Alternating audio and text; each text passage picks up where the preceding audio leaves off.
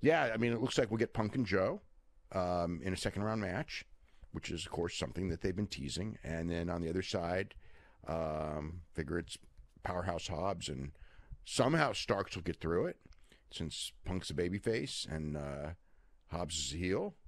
Looks like, uh, I mean, that's the betting line for the final Yeah. is uh, Punk and, and uh, Powerhouse. And we have for the women, the one half is Britt Baker and Ruby Soho and Anna Jay and Skye Blue. And the other side is Nyla and Willow and Athena and Billie Starkz. Well, Athena's going to beat Billie Starkz. Um, Willow should is Willow and Nyla, so Willow should win that, right? I would think so, yeah. So we got Willow and Athena in the semi.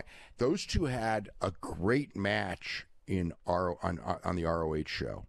So um, that's probably why they went in that direction because uh, you know they want to duplicate that. And then uh, um, so it's Britt and Ruby and um, Skye Blue and Anna Jay, um, which we will talk about because Skye Blue and Anna Jay has already happened, and I wonder if they, you know, I mean, Brit could win. They could take her out. Um, oh, geez. I mean, Britt's Britt's. Britt won last year. I wouldn't take her out in the first round. I think Yeah, she's got to well, go farther than that. So that well, if she doesn't, then she's would go. She would go in the second round against somebody, and then uh, which we'll talk about later, and then uh, the finals. She could be in the finals. Um, on the other side, it would be a Willow and Athena winner, uh, which could be either one of them, perhaps Willow. Um, so I don't think they're going to do Brit and, uh, Brit and uh, Willow, although they could. We had Orange Cassidy and Shibata versus Zack Sabre Jr. and Daniel Garcia, which was a good match. Got a lot of time. And uh, Orange at the end, everyone's hit their big moves. Orange accidentally hits Shibata with the orange punch. Garcia cradles him and pins Shibata. And then it was weird. Like afterwards, uh, Daniel Garcia and Zack Sabre grab a hold of Orange's belt. And then Shibata just stands up and then he starts looking at the belt. He's not mad that his partner hit him. He's not angry that he got beaten. He just kind of stands up and looks at the belt, and then he grabs it. And then there's a three way tug of war. And then Orange Cassidy gets in there, and they announce the four way for the pay per view Shibata, Sabre, Garcia, and Orange. And then Orange grabs the belt and leaves. So uh, that's the uh, match for the Yeah. international title. The match was good. It wasn't. Um, I don't know. It was. It was. It was. Uh, it wasn't as good as I would have. You know, because as, as good as like most Zack Sabre matches.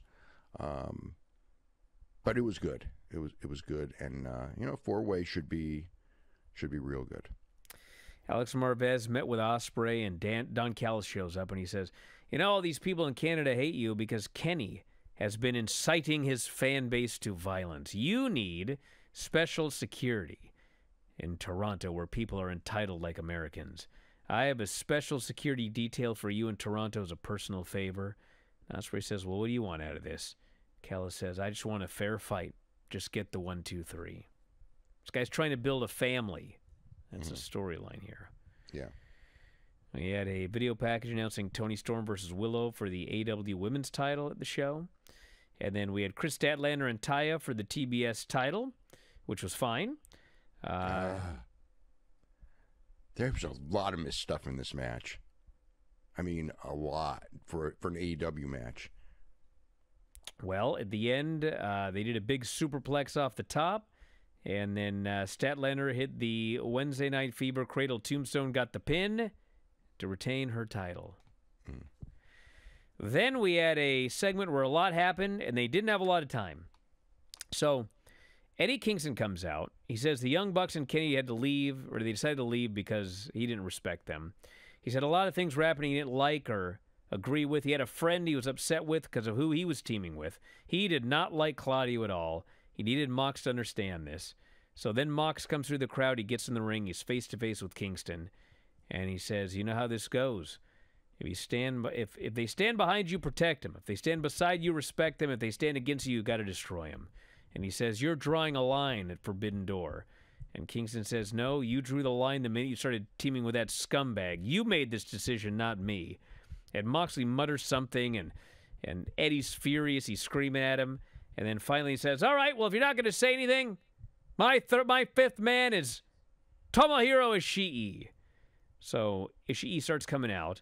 The BCC attacks Kingston, not Moxley. And then Ishii hits the ring to make the save. Kingston and Claudio go after each other. Yuta beats down Ishii in the ring. The fans are chanting for Okada.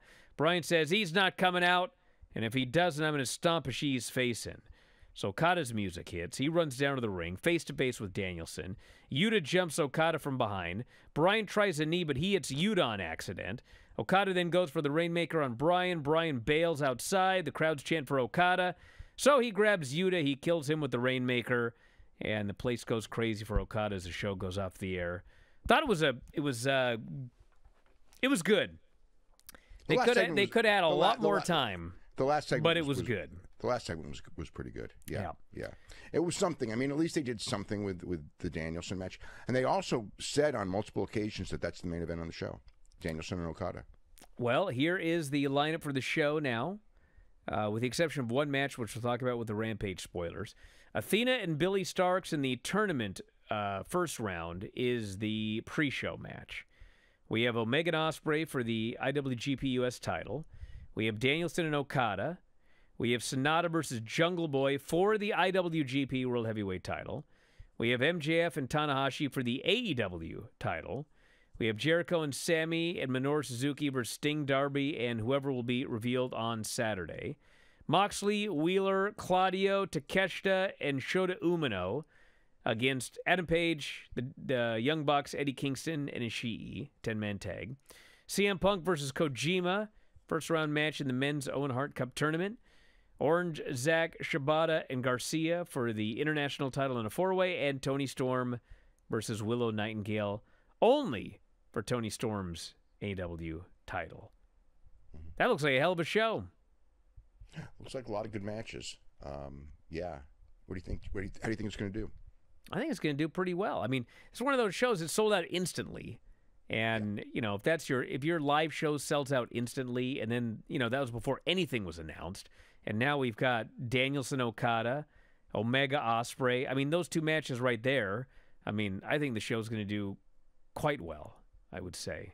135-ish, I would say. I don't. You know, did 140 last year. Well. you, you, would, you would think it should be last year.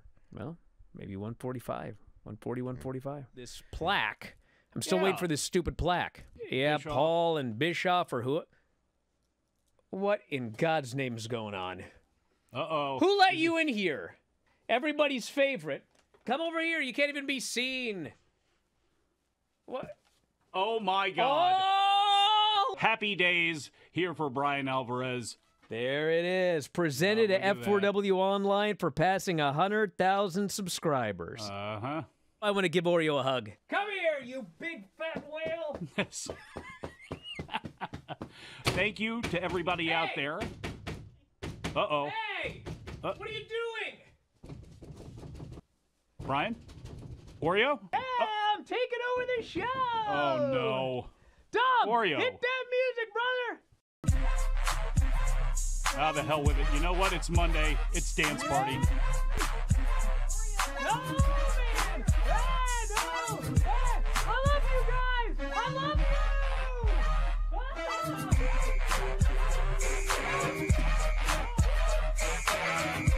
When can you have this much fun on a Monday on Wrestling Observer Live? I think we may have started something new here. I hate that whale. If you enjoy these videos, for just $7.99 per month, you can enjoy full length editions of The Bryan and Vinny Show, Wrestling Observer Live, Figure 4 Daily with Tom Lawlor and Lance Storm, the Mat Men podcast, Speak Now Pro Wrestling with Denise Salcedo, and more, plus hundreds of archived shows, all in beautiful HD. Don't miss out. Join us today.